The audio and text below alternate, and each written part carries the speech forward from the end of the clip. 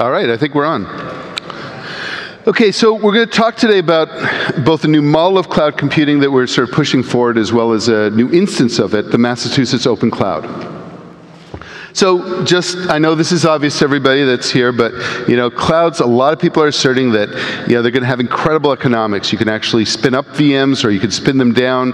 And so for the user of it, you know, you only pay for what you want. And the provider, meanwhile, has massive capacity that he can put in there where data centers are cheap, et cetera. And a lot of people believe that because of that, public clouds are going to kind of dominate the industry, that you're not going to be able to buy a computer in a decade from now. We don't believe that's true. We actually think that the current model of cloud computing, the public cloud, where you actually have a closed cloud, you can't see inside it, can't actually meet that vision.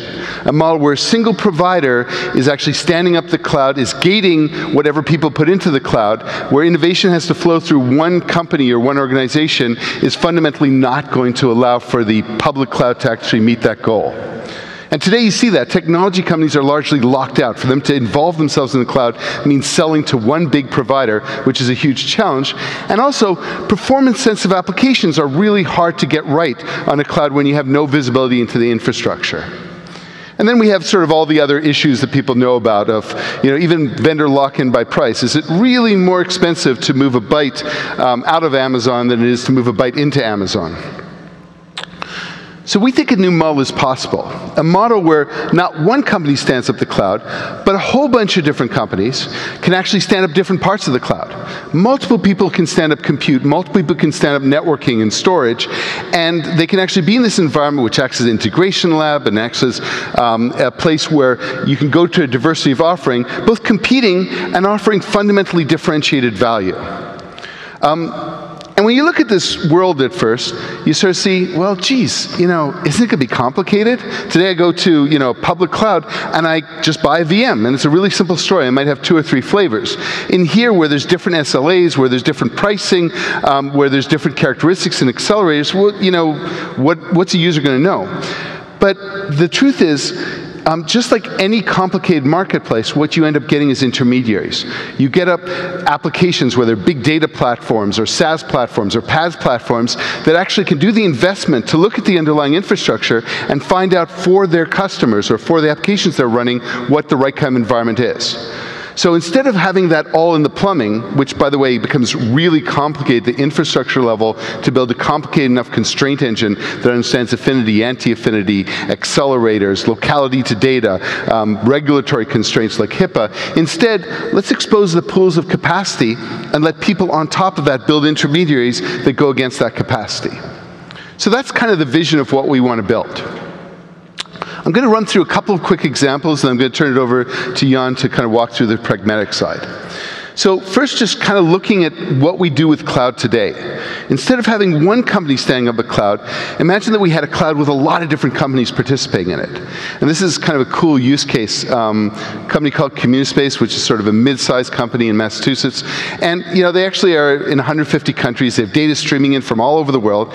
And they say, well, we don't really know what to do with it. You know, and we could go and build an in-house data center and have vendors try to tell us what to do, but actually picking in, in that kind of environment is really difficult. So wouldn't it be cool if you know, we actually had the Mass Open Cloud, we could actually put our data sets into it, or at least representative data sets into it, and maybe we run big hackathons on top of that data, and maybe we first figure out, okay, cool, here's an application that Communispace wants to use all the time, that goes and you know, is actually giving them back real-time data on how their, their environment is working. Um, and maybe that runs on Spark, which is a really cool big data platform, and it runs on top of um, you know, a relatively small environment like um, you know, Cloud in a Box. Well, now they have visibility to that. They see what it's running on and where the performance characteristics are right, and they can actually choose to in-house that, which is great. They can use this just as an environment to test things out. But maybe there's another application which they want to run once a month. It runs on Vertica, which is a column-oriented database that requires low latency communication. So maybe the Plexxi networking and a massive SGI rack of thousands of nodes.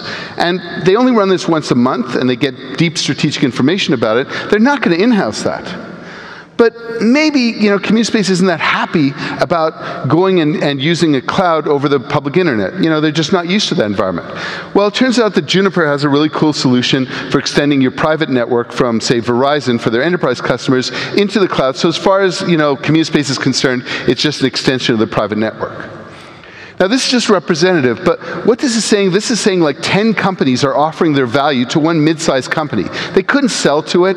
It's the innovation of a lot of different companies providing their value through a shared cloud environment. Just briefly, kind of walking through a, a, few other examples. You know, cyber physical systems interacting with the real world.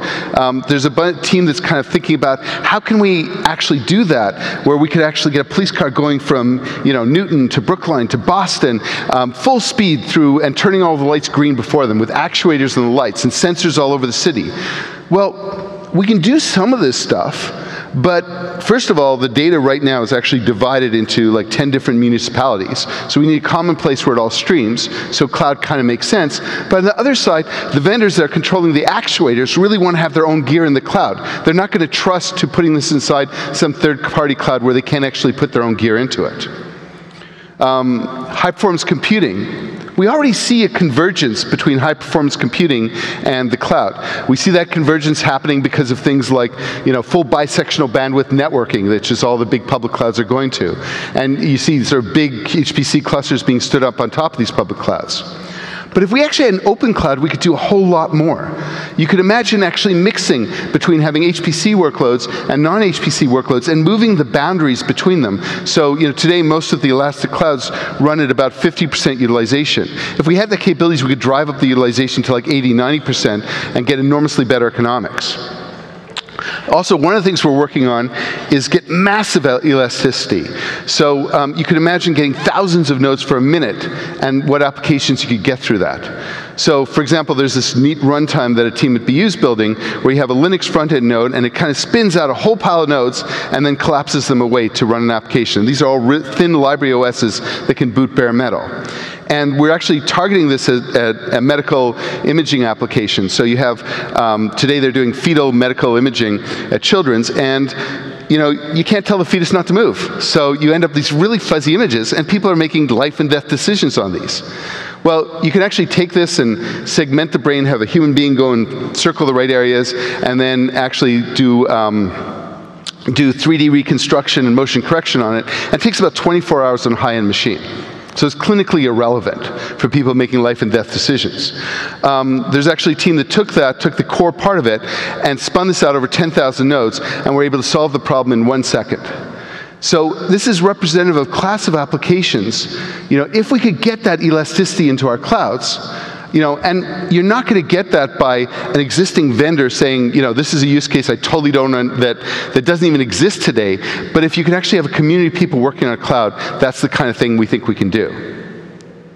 Um, last one is, you know, just an example of a whole class of research things. So today, clouds are priced based on stickiness, trying to get you into the cloud and lock you into it if you actually reflect the costs of the cloud into how things are priced, that's going to drive efficiency because now there's a relationship between what people do and what it's actually costing them. Um, and you could do things like represent the SLA and the characteristics of the application and map that to it, to the infrastructure so you know you can actually drive the real price of it to be representative of the workload. And so if, for example, they could be squished, they have an incentive to be squished because they're paying less. So there's some really neat research that's being done there. Nobody can deploy that in an existing cloud because it's kind of locked behind a door, stood up by one provider. You can experiment with all these models in an open cloud. And at a fundamental level, there's a ton of these research projects going on, all of which are highly academic, have no relevance to the real world, because they can't do things in the real cloud. And I think a lot of people would feel, geez, that's not so different from a developer that wants to do an at-scale offering, but actually can't get access to a real cloud to do it, or do anything at scale. So it turns out we, we, when we actually proposed the talk, we weren't sure we could talk about it. I'm going to hand over to you in a second, but we kicked off this project, the Massachusetts Open Cloud. Uh, this shows it's, it's a joint cloud that's being stood up by the five big universities in, in Massachusetts, so uh, BU, UMass, uh, Northeastern, MIT, and Harvard, um, on top of a big shared facility we've built. And it has a broad set of industries. So we've got about 16 million to 20 million in, in matching um, commitments from industry. Um, and uh, the week before last, uh, Deval Patrick stood up in front of an audience and actually announced that the Commonwealth was supporting this cloud. And uh, sorry, I was 30 seconds over. Ah, no problem. you did very well. I need to see if I can operate this high-tech device. So yes, I can. Excellent.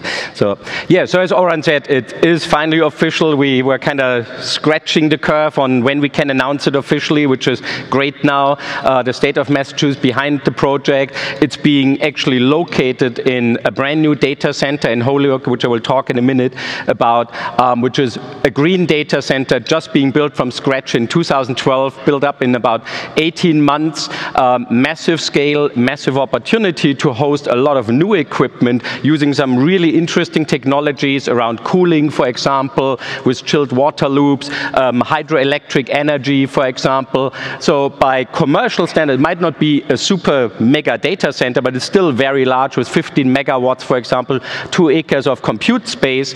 Um, and it gives us a great environment to host a, very, a, a variety of workloads, installations, computers, equipment, etc.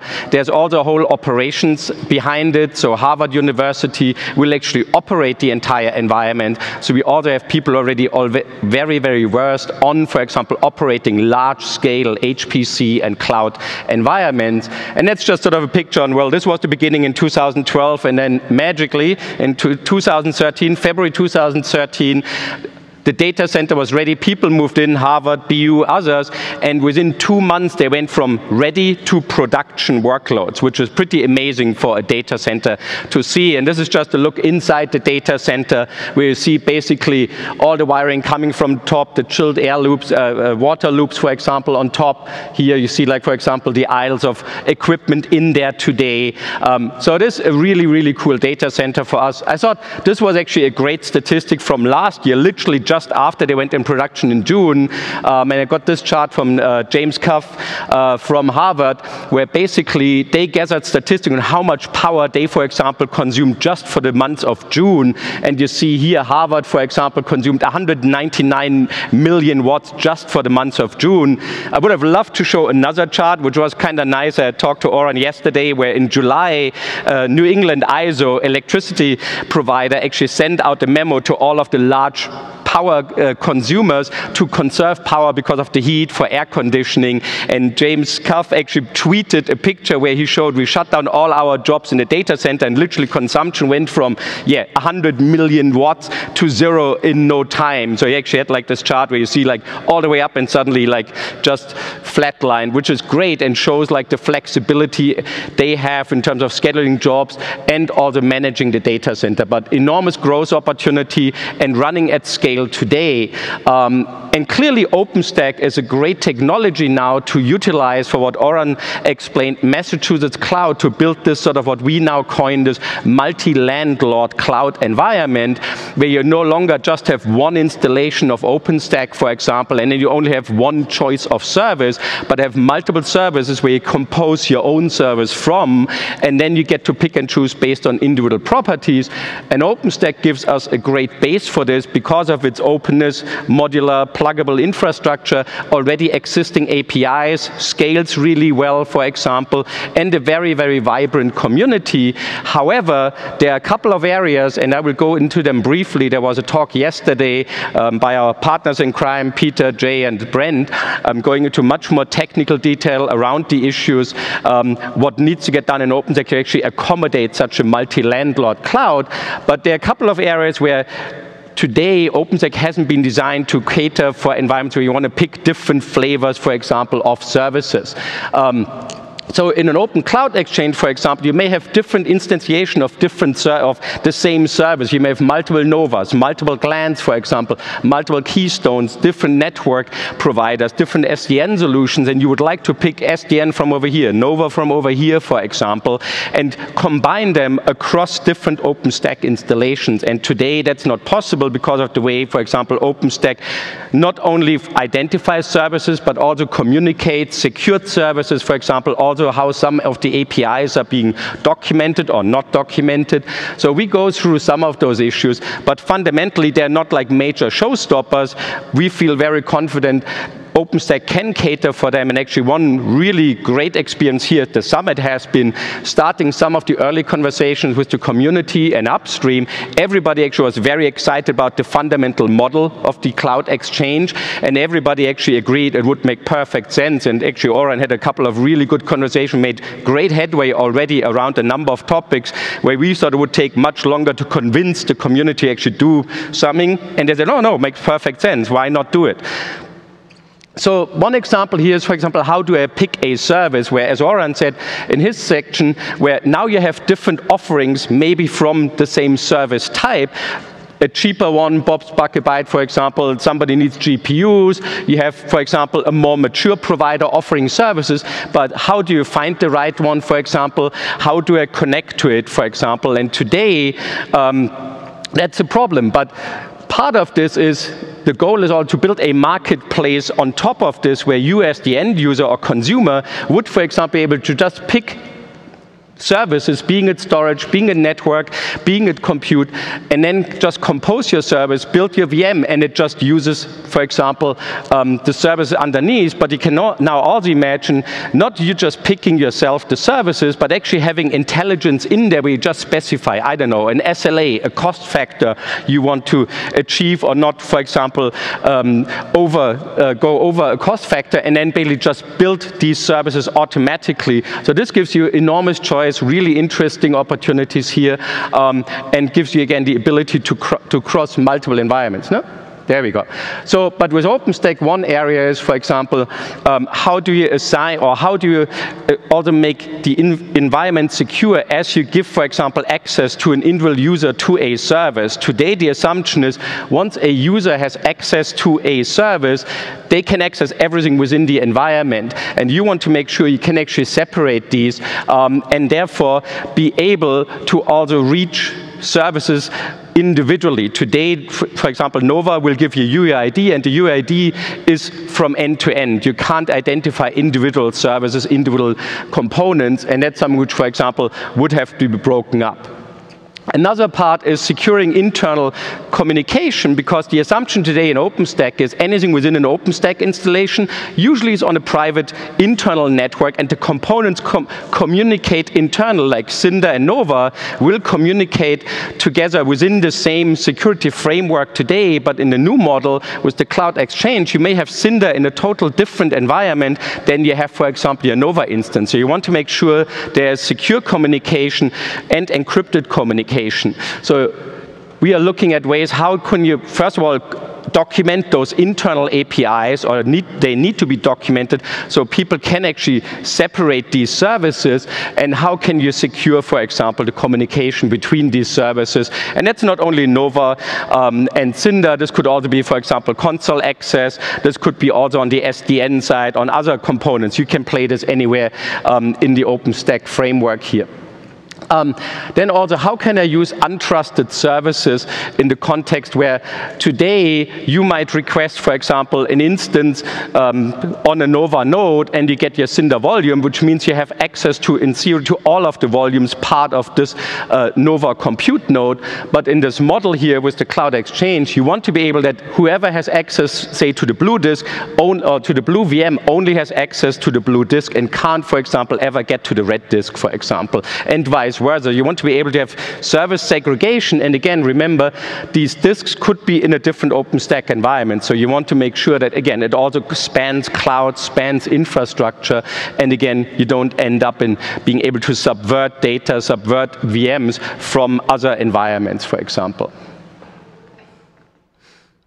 Um, encryption I mentioned earlier for the internal services, but this is now also applicable for other services today already used for storage, for example. So if you look at storage, use iSCSI. Today the communication is not, for example, encrypted between, say, the storage backend and, for example, um, the Nova side. So we are looking at ways to what can you do to, for example, secure the storage traffic uh, between those instances, being it via VLANs, being it via other technologies. So that's another area to explore. And I think there will be a great opportunity to collaborate again on all of these with industry partners to figure out ways, what are safe ways, for example, to secure communication, not only for the storage side, but also on the networking side. For example, how do you then communicate between clouds? Um, today, again, if you use, for example, an SDN solution, the assumption is it's in the context of a single OpenStack installation, but how do you bridge, for example, multiple OpenStack installations and then get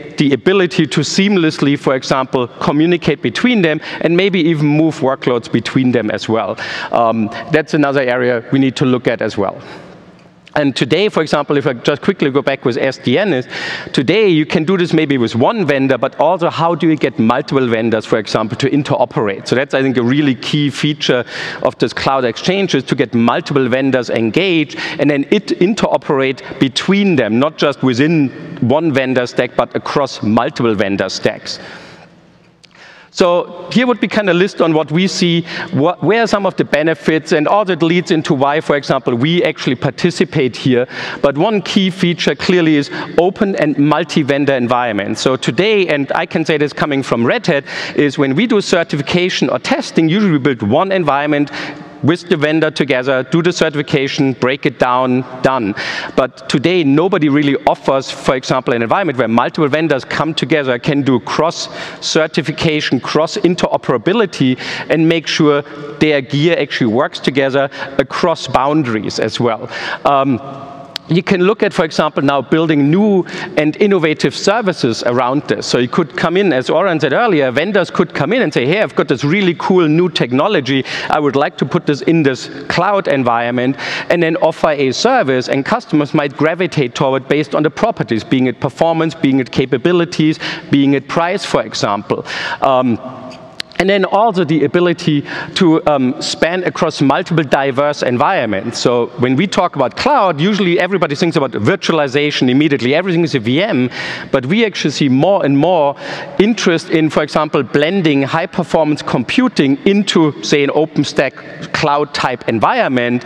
Um, and now suddenly you have the ability to, for example, mix and match workloads within the same environment, thereby, for example, driving utilization up, but also, for example, creating again new interesting opportunities here. Um, also the ability um, to look at, for example, per service pricing. So today when you go into cloud, you basically get the price for a cloud, but here you might be able to pick again based on price for individual services rather than for the entire cloud. Um, and then also looking at new ways, how do you actually orchestrate and compose workloads and applications within a cloud environment? I mean, we all talk about how you can, in theory, build these multi-tier applications where a database tier runs on one side, middleware somewhere else, or middle tier somewhere else, endpoint somewhere else. Today, that's not really easily possible. Um, besides on slides. But in reality, this would give you an environment where you actually can build these environments and also get the community involved. For example, have developers explore real use cases in a real life environment here. And then a couple other benefits here is it's not just a technology showcase, but also, again, the ability to collaborate within a diverse environment because Today, a lot of the collaboration happens behind the firewall, often in very small environments, um, or developers often crave to have access to real-life environments with real-life data, real-life workloads. Especially developers here today would crave to have access to a real-life OpenStack environment with real workloads, um, real fair scenarios, but without the pressure of being in a high pressure production type environment. So here you would get exposed to operational data. Um, you get, for example, maybe to build a new service in parallel, but you can again study this in real life, look at log files, look at ways, for example, to correlate events in such a highly di diverse and complex environment, um, look at new troubleshooting technologies. Because again, OpenStack now becomes very complex, as we already all know. But now imagine this would be an environment with thousands of nodes. Suddenly, things like event correlation, how do you actually mine log file data, becomes really, really interesting and really important. So I think there's a lot of interesting uh, opportunities here. And again, it's not owned by a single vendor, but really everybody is part of this effort and can again then participate, bring value to the table beyond all the just technology, but also people. So I see actually a real big value here, and that's the true for us is it's not just the technology side, but here you can build up skills, foster new skills, for example, in a real life environment where otherwise it's really hard to get people engaged, also get people, for example, to participate in the communities and build new communities around, for example, some of the projects in this cloud. Yep. ask a question. How many people here are developers? How many of you um, keep your hand up if you actually have an environment with a thousand hosts that you can actually test? Okay, so we're building a cloud, and one of the developers in the room actually can do, test their experiments at scale. Sorry. Yeah, no, no, that's fine. And I bet the thousand nodes installed from the gentleman who can test might be eventually half, at least half production. So it's not like you can just jump in and do stuff. So that's actually a nice way where you might just be able to carve out, for example, areas of interest and then do some explorational work. And for us, and we've started to do this, we've been working with MOC for quite a while. Um, and for us, the real interesting aspect is, again, to bring people into the environment, work with people like Jay, Peter, Ian, and, and Orran to actually get operational experience running a real cloud OpenStack environment at scale and be able then to build their skills, which they can later on, for example, bring to customers. So they can drop, they don't get dropped into customer sites, like, and for them that's all new. They actually have a lot of experience just operating this, deploying this, and now you can play this further. There might be opportunities to come up with some creative internship model or whatever down the road as this scales to kind of give people the ability to kind of do on-ramping for OpenStack deployments, or even if you just want to get used to OpenStack here. Um, it also allows us to, for example, um, have support services from our side treat this environment like a real customer. So the MOC folks can call our support people like a real customer, but our support personnel on the backend side gets rotated through this role, for example. So we end up in training support people also in understanding large-scale cloud environments. Um, and then for us, it's also interesting to look at, again, new workloads, new use cases, large-scale experiments, as Orran said earlier. Um, also the ability to maybe leverage some of the other pro products we have around JBoss, like rules engines, JBoss data grid, you name it. There's a lot of opportunity, not just for us, for every vendor actually how is this applicable to, for example, then manage a multi-cloud environment, multi-landlord environment, um, and also the ability to do some very early testing about around new technology and hardening of new technology at scale, because all here have been at the summit all week, and if I would ask what was the number one issue, number one topic, I would bet there was probably something with an N at the beginning, uh, network and neutron, um, and this would be environment, for example, you could test stuff very early at immense scale, for example. Uh, same would be true for deployment tools. So Jay actually, Jason actually looked at some of the deployment needs for MOC around bare metal deployments in the context of high performance computing. And the good thing is here at the summit, it turns out there actually is a lot of interest on the developer side to actually solve these problems. So Jason actually went out and built this project called HaaS, Hardware as a Service. But it seems there might be actually an opportunity to make this interoperate with other technologies such as Ironic. And again, and it is a perfect example to like how do we can how can we collaborate and how can we work better together. Um, and really, for summary, I probably give it back to Orran is like, like what do we what he also wants to get from you in terms of collaboration and feedback. So, I mean, the takeaways I want people to come and walk away we're not, we're, obviously this is a place where we can refine the software that we're deploying in private clouds, and that's going to be a really important problem for the foreseeable future. But we actually think the public cloud can be really important. And when we move away from a model of a single company standing it up top to bottom and controlling and gating the innovation, but we provide an environment where multiple companies can get involved. And in doing so, that's an environment where developers can get involved, where researchers can get involved. So a kind of open cloud. And we defined a model we call an open cloud exchange. And that model of an open cloud exchange has a variety of providers, and it also creates a marketplace for people to create intermediaries to go and consume that underlying capacity on top of it. OpenStack, you know, not developed with this in mind, developed as a multi-tenant cloud, but not a multi-landlord cloud. It's got a lot of it right. It's actually pretty close. Um, but there's actually significant changes that, that we're going to need to do to enable this environment.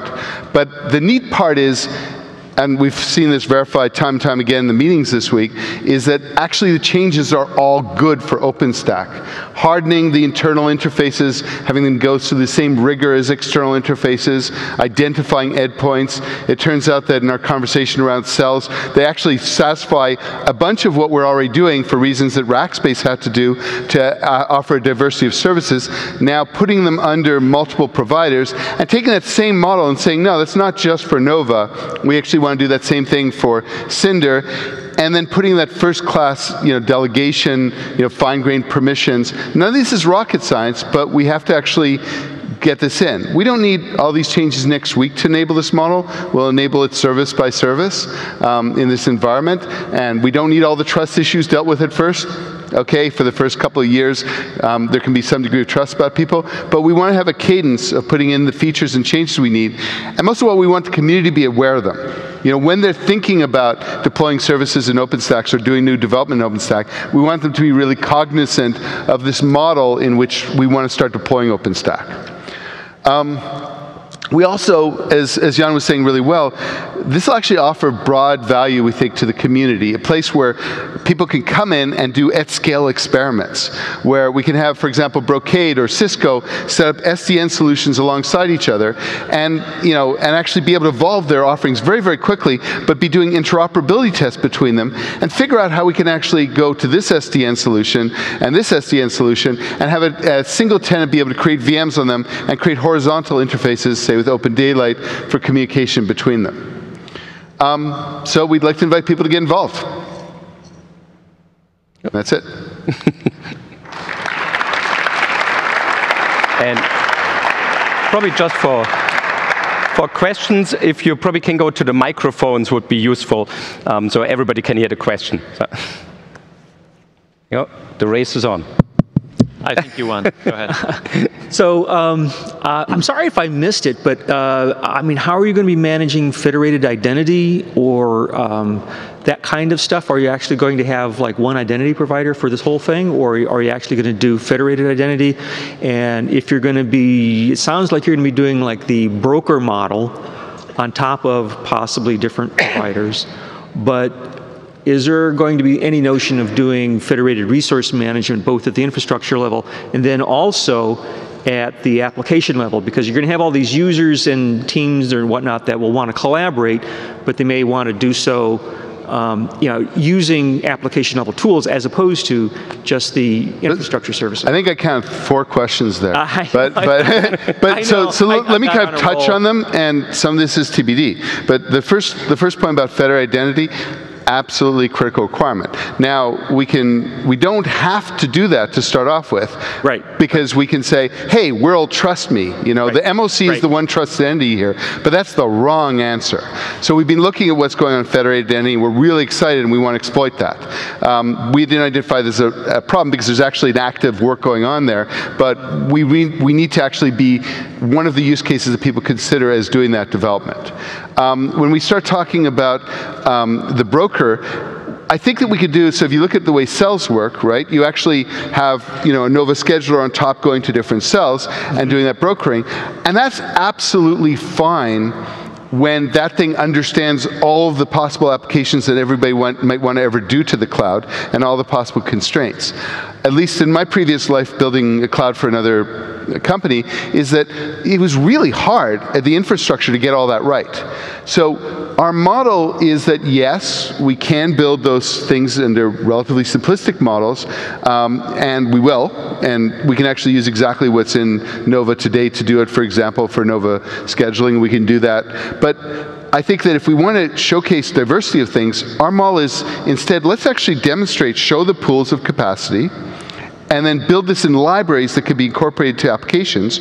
So those applications that understand their own requirements can go and pick um, three of these and four of these. Can say, okay, this is my critical database. I want it to be on that highly available storage, and these are my web servers. I'll use this kind of storage, or maybe this has to be HIPAA compliant. So they can actually make that decisions. We don't think it makes sense that there should be a scheduler that understands the world. We actually want the scheduling to be moved up. Yeah, but so but there, there'll be a resource discovery issue around that such that you know, any user application can find the right things that they need to make right. the right So we're actually, one of the things, uh, we didn't describe the solutions at all, all we described was the problems, but there's going to be a rich services directory that we're building in here. Yeah. Um, and that services directory will tell you the pools capacity, and our assumption is each of those pools are relatively large.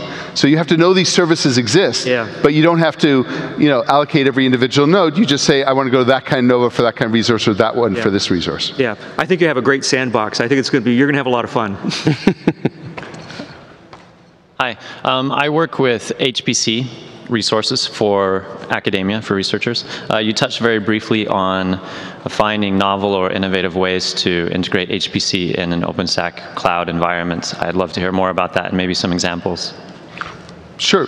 So, I mean, at one extreme, it's, you know, if you look at, say, the North Carolina VCL project, um, what they did was really cool. They ended up sort of saying, okay, this is a private cloud solution. It, it doesn't have all the bells and whistles of OpenStack, but it's been there for a long time satisfying their enterprise. And they actually bought HPC-like gear, and then they don't use OpenStack for actually the HPC applications, what they do is they use a standard scheduler, MPI, whatever, and they move the boundary between the different kinds of resources. And that's great because what it lets you do is, is drive up the utilization because there's an infinite number of HPC tasks all the time. So it actually gets much more efficiency. But you know, the super elastic applications, like building into Glance the capability of bursting, of broadcasting an image to a thousand nodes, so I can actually deploy like that library OS I was talking about. Um, we're already moving, we see in HPC, we see HPC for a long time has had full bisectional bandwidth networking. Well, we're actually doing that now in clouds. You know, we, the class, net, uh, class, we organize our networks in a Clos thing, we use multiple stages of it um, using combined networking, but it's not obvious that makes the most sense if we're moving to a fully integrated you know, close to data center scale machine or large scale machine. So I think that, that HPC till now has been a niche in research universities, big national labs. HPC can be part of our daily lives if you know you have applications can burst out and get a lot of capacity very quickly. And we think that's one of the potential things we can do on a cloud. So you can support legacy by moving the boundary, but now the next thing you start thinking about is HPC applications already have to be tolerant of failures once they start moving up to massive scale. And so bringing new programming models that actually tie into the cloud is an obvious kind of thing that's going to happen. Hi, I don't know if you're aware of Larry Peterson's Open Cloud Initiative. Um, he's got uh, like 20 internet pops with Folsom running, and um, he's looking to recruit in a bunch of Planet Lab um, nodes and racks at various different universities. Um, currently running Folsom, and um, he, it's, I think it's opencloud.net, something like that. Have you checked this out? Yep. Okay. Hi, uh, I have a question. I got in late, so the uh, you probably already covered it, and because I read the description, and uh, uh, this is an amazing model. Uh, obviously, has a lot of great impact, you know, especially the social and to community. But on the uh, the more um, commercial and economic perspective, and I, I read something in the description that like the participants, uh, especially the companies and I guess commercial entities, can also derive their revenue somehow. So either like a, a common, you know, kind of a federated or you know, unified billing charging system, and so that people can leverage uh, on top of that, you know, based on you know the resources they contributed, and then they get the uh, you know revenue. I don't know if that's already covered. Well, we didn't talk about it, okay. and you know, we it's absolutely critical to this. Is where you know, for everything that's deploying OpenStack, we'll be using you know standard metering techniques, and everybody should be metering their own offering. You know, and the idea is actually you can go to the cloud, you can buy the service from who you want to, um, and the cloud, the MOC, is the thing that's going to be responsible for actually the billing. But you know, the metering of it and the determining the rates is actually what each individual company should be doing. Now, there's a lot lot that has to be evolved in the business model. The first year, we're kind of offering this for free to the research universities with a limited access to the public. Um, but, but that's actually our three-year plan. We've promised the Commonwealth within the thir- third year, I think, by the end of the third year, by, sorry, the end of the second year, we'll have a model that, that we'll be implementing in the third year. So it could be something like on top of Ceilometer, maybe some you know add on other uh, you know vendor uh, capabilities and Well, our basic assumption is this is all built on top of Ceilometer. Okay. But we've got enough problems to worry about that that's another year or so that I have to really start worrying about that. thanks. I think one more minute, one more question. Hi. Uh, first of all, uh, thank you uh, very much for the interesting presentation and for the interesting topic and the question. So, uh, what is the definition of the cloud in your model? Because from a first look, it looks like that you are building cloud on demand. So, it looks like you have like cloud of clouds. So, in this uh, model, what is the definition of? Well, a cloud of clouds would be a model where one person stood up OpenStack, another person stood up OpenStack, and then we did some sort of federation between them. And that's, that's not the way we envision this. This actually is probably the way it's going to start. But I want a company that understands how to actually do storage and a really cool, innovative thing, maybe Solidfire or something, to come in and just do Cinder in here right? And actually manage it and be able to iterate on. it. I want Brocade to come in and actually have a Neutron, um, maybe with um, maybe with. Um, Open Daylight under it, that they're evolving really rapidly and deploying in an agile fashion on top of their switches and stuff. I want you know EMC to be doing its storage, and I want people to be able to mix and match. Maybe HP is doing everything in one, one, one step, but I think people want to have their data come into the cloud, and then they want to be able to move from one kind of compute to another depending on the characteristics. Or they want from the same compute to be able to have storage from different things. So I think the way we think about this is take what OpenStack is today, a set of services, well-defined API. Each one is really a separate service. You know, that's kind of Amazon's mantra is that all interactions go through the external API, right? So just harden OpenStack. And so each of these things can be stood up by a separate provider that really is focusing on their area and can innovate at their own rate and isn't dependent on all the other parts of the cloud, is can offer their service. Does that make sense? Yeah. Okay, I think we're supposed to wrap up now. Thanks, guys. Good.